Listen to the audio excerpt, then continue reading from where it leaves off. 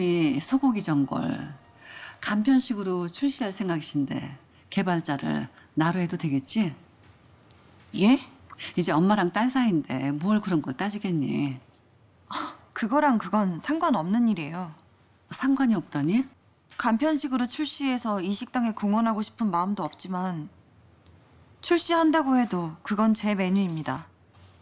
아, 그럼 왜 내 양녀가 되려는 거니? 말씀하신 것처럼 아저씨한테 돈 왕창 가져다 드리려고요. 그런 것까지 날 밀어줘야지. 끝까지 밀어요? 이쯤 사는 집안은 재벌도 못 되면서 집안에 암투라는 게 벌어진단다. 내가 살아남아야 너한테도 좋지 않니? 그래서 암투에서 승리하시는 그날까지 제가 해야 되는 일은 뭡니까? 성심을 다해서 날 돕는 거지. 안 도우면 어떻게 됩니까? 양녀 자리에서 쫓겨납니까? 영신아, 왜 그렇게 부르십니까?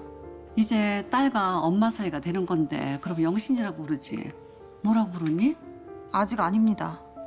너에게 엄청난 부를 누리게 해주는 거야. 보답을 해야지. 세상에 공짜가 어딨니? 그 보답으로 사장님을 밀어드려야 합니까? 당연하지. 그럼 서민경을 밀 거니? 언제까지 밀어드려야 합니까? 적어도 내가 은퇴할 때까지. 은퇴할 때까지 제 모든 음식을 사장님의 것으로 세상에 내놓아야 한다. 이겁니까? 이 집안 재산이 얼만 줄이나 알아? 제 음식은 저만의 것이 아닙니다. 경사 아저씨 할머님께서 아저씨께 전수하신 거고 제가 물려받은 겁니다. 내 맘대로 사장님께 홀라당 가져다 바칠 수 있는 게 아니란 말입니다. 그래서 이 집안 양녀가 되는 게 싫다 이거야?